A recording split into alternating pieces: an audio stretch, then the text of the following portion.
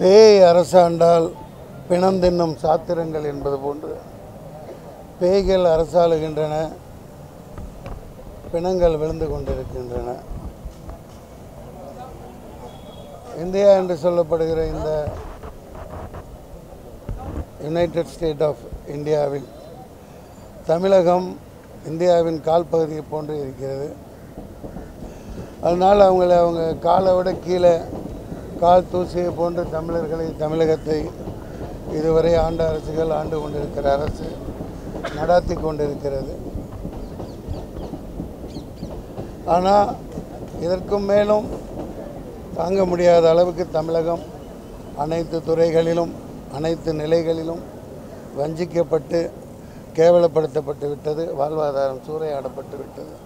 இது உங்கள் எல்லாருக்கும் தெரியும். இனியும் இந்த மாணவர்கள் மீனவர்கள் விவசாயிகள் ஒட்டுமொத்த தமிழகம் விழித்து எழுந்துருச்சு. இது திருப்பி தாக்கும் தமிழகம் தமிழ் தேசியம் நிலைநிறுத்தப்படும்.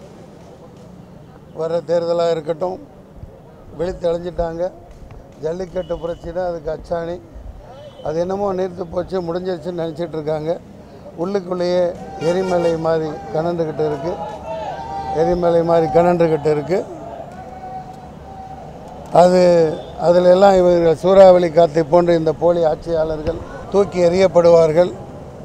தமிழகம் மிகப்பெரிய ஒரு முன்னேற்றத்தை புதியவர்களின் ஆட்சியின் கீழ் அமைக்கும். வேட்பாளர்கள் எல்லாம் அந்தந்த பகுதி மக்களே தேர்ந்தெடுப்பாங்க இந்த கட்சிகளை எல்லாம் தோற்கடிப்பாங்க. அதான் நான் சொல்ல முடியும். தமிழக அரசோட செயல்பாடு எப்படி இருக்கு? இந்த பிரச்சனையில்? தமிழக அரசின் செயல்பாடு ஒரு நபம்சகனை போன்று இருக்கிறது. அதாவது அது பல்லு பிடுங்கின பாம்பு. தமிழக அரசு என்று ஒன்று இல்லை. புரட்சி தலைவி அம்மா அவர்களை சாகடித்ததோட அரசும் சாஞ்சு விட்டது. அவங்க பதவிகள் சொத்துக்கள் அங்கங்கே மண் கொள்ளையடிக்கிறது. பல உத்தரவுகளை போட்டு அதில் வந்துக்கிட்டு இருக்கிற பணத்தை சேஃப்டி பண்ணுறது அதை பிச்சுக்கிறது. அதுக்கான பங்கீடு தான் நடக்குது. நதிநீர் பங்கீடு இல்லை மக்களின் உரிமை பங்கீடு இல்லை மாணவர்களின் உரிமை பங்கீடு இல்லை. அவங்க சொத்துக்களை தான் பங்கு போட்டுட்டு இருக்காங்க இன்னமும் அடிச்சிட்டு இருக்காங்க இன்னமும் கேவலமாக அடிச்சுக்குவாங்க. அனிதா மரணத்துக்கு பிறகு கிருஷ்ணசாமி பல்வேறு கருத்தில் போயிட்டு வந்துரு போயிட்டு வர்றாரு. உங்களுக்கு தெரிஞ்சிருக்கும். ஆமாம். அதை பற்றி உங்களுடைய பார்வை என்ன? அவருடைய இது வரைக்கும் ஒரு ஏதோ சிறந்த ஒரு கட்சின்னு ஏதோ நடத்திக்கிட்டு இருந்தார் அதற்கு அந்த மாண்பை சிதைக்கும் வகையில் அவர் பேசியிருக்காங்க. அது மக்கள் கேட்குறாங்க இந்த பாலபாரதி எம்எல்ஏ கேட்டிருக்காங்க. அவர் குழந்தைகள் ரெண்டு பேருக்கும் குறைஞ்ச மதிப்பீடு அறநூறுக்கு அறநூற்றம்பது மார்க்லேயே டாக்டர் ஆக்கியிருக்காங்க. அப்படிப்பட்டவங்க இப்படி பேசுகிறது மிகப்பெரிய முரண்பாடாக இருக்குது அவ்வளவு மரியாதையாக படலை எனக்கு. வந்து நீட் தேர்வு வந்து எதிராக போராடக்கூடாதுன்ற மாதிரி ஒரு உத்தரவு போட்டிருக்காங்க. அதை பற்றி உங்களுடைய கருத்து உச்ச நீதிமன்றத்தின் இந்த தீர்ப்பு அநீதிக்கு மேல் அநீதியான தீர்ப்பாகும் என்று நான் வன்மையாக கண்டிக்கிறேன். உச்ச நீதிமன்றத்தின் இந்த தீர்ப்பு எரிகிற நெருப்பில் மேலும் எண்ணெயை ஊற்றுகிற தீர்ப்பு. அனிதாவின் வீர மரணம்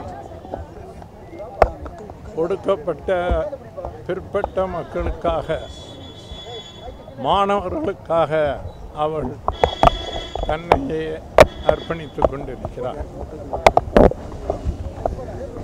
நீட் தேர்வு என்ற அநீதியை எதிர்த்து அவள் தொடங்கி வைத்திருக்கிற இந்த நீதிக்கான போராட்டம் சமூக நீதிக்கான போராட்டம் தமிழகத்தில் மட்டுமல்ல இந்தியா பூராவிலும் ஒடுக்கப்பட்ட பிற்பட்ட மக்களின் போராட்டமாக வளர்ந்து ஓங்க வேண்டும். ஒடுக்கப்பட்ட பிற்பட்ட மக்களுக்கு சமூக நீதி நிலைநிறுத்தப்பட்டால் ஒழிய அனிதாவின் மரணத்திற்கு நாம் அஞ்சலி செலுத்துவதிலே பயனில்லை. அனிதாவுக்கு வீர வணக்கம் செலுத்துவதன் மூலம் நம்முடைய கல்வி உரிமையை நிலைநாட்டுவதற்கு அனைத்து மக்களும் அணிதிரள வேண்டும் என்று வேண்டிக் கொள்கிறேன். அனிதாவுக்கு வீர வணக்கத்தை தெரிவித்துக் கொள்கிறேன்.